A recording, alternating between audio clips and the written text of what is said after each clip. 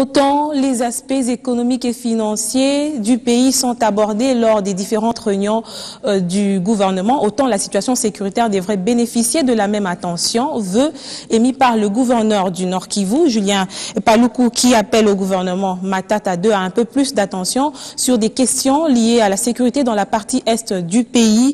Il a dit euh, dans un communiqué de presse publié ce dimanche en réaction d'une attaque à Béni des rebelles ougandais, décryptage de ce communiqué dans ce commentaire de Christian Elongo. Julien Paloukou Kaonga ne va pas avec les dos de la cuillère. Dans son communiqué, les gouverneurs déclarent que depuis octobre 2014, la province du Nord Kivu fait face à une escalade des violences qui a fait des centaines de victimes et a affecté du coup l'économie de sa province.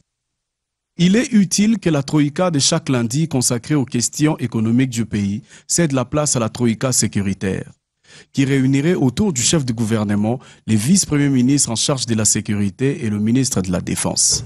D'après le numéro 1 du Nord Kivu, si les gouvernements mettraient en place des mécanismes de mobilisation des moyens humains, matériels, intellectuels et financiers pour stopper les cycles de violence de la même manière qu'il a réussi à freiner l'inflation, on ne parlerait plus des morts dans l'Est de la RDC. Au regard de cette situation, il est plus que temps pour le gouvernement Matata 2 de se concentrer sur les aspects sécuritaires sans lesquels aucune projection économique pour le bonheur du peuple ne peut être envisagée. Pour rappel, plus de 300 personnes ont été sauvagement tuées par les rebelles ougandais des ADF en cinq mois dans l'est de la RDC. Entre-temps, comme annoncé au sommaire, la population de Béni a choisi la paralysie d'activité pour se faire entendre. Une ville morte est observée dans toute la ville pour une durée indéterminée, suite notamment aux attaques des ADF Nalou, occasionnant ainsi la mort de plusieurs personnes. Détail avec notre permanent sur place, Erika Smissi. Paralysie totale des activités socio-économiques, c'est lundi 11 mai à Béni, au grand nord de la province Nord Kivu.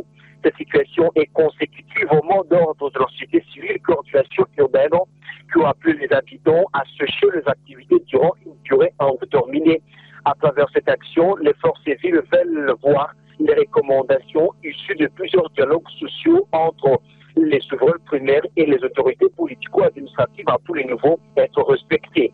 Parmi ces recommandations figure le relèvement de troupes engagées dans l'opération Sukula contre le rebelle conduit à défense. Depuis ce lundi matin, à Béni, les appartements commerciaux, officines, les maisons bunkers, les écoles n'ont pas ouvert leurs portes. Le secteur de transport en commun est aussi paralysé dans cette ville cosmopolite.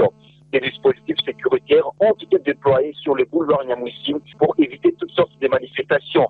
Pour les référents pasteur Chobin Kambalé, président de la coordination urbaine de la société civile du Bénin, l'effet de cette mesure est conditionné par la prise de décisions relevant le troupe engagé dans l'opération Soukoula 1. M. Kambalé fustige le fait que les cycles de violence caractérisés par des massacres continuent en présence des forces de sécurité. Pour l'heure, rappelons-le, les documentations des forces vivantes renseignent que plus de 400 personnes sont déjà massacrées en ville et territoire des Bénis.